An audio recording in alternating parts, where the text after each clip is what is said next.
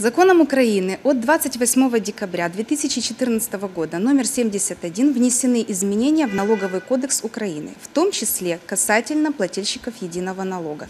Так введено обязательное использование кассовых аппаратов для плательщиков единого налога третьей группы с 1 июля 2015 года, для плательщиков второй группы с 1 января 2016 года. Предприниматели второй и третьей группы для регистрации кассовых аппаратов должны подать в налоговую инспекцию заявление по форме 1, копию документа, подтверждающего факт покупки или использования кассового аппарата, а также разрешение на право размещения хозяйственного субъекта, где будет использоваться регистратор расчетных операций. При этом в законе прописаны категории предпринимателей, которые освобождаются от использования кассовых аппаратов. В то же время, согласно пункта 296.10 статьи 296 Налогового кодекса Украины, плательщики единого налога второй и третьей группы при осуществлении деятельности на рынках, мелкорозничной торговли, а также плательщики первой группы не используют кассовый аппарат. Следует отметить, что при условии осуществления расчетов исключительно в безналичной форме, плательщики единого налога освобождаются от использования кассового аппарата. Кроме того, налоговая инспекция Приморского района напоминает одесситам. До 1 июля текущего года граждане, у которых есть объекты недвижимости, а также владельцы автомобилей, регистрация которых насчитывает меньше пяти лет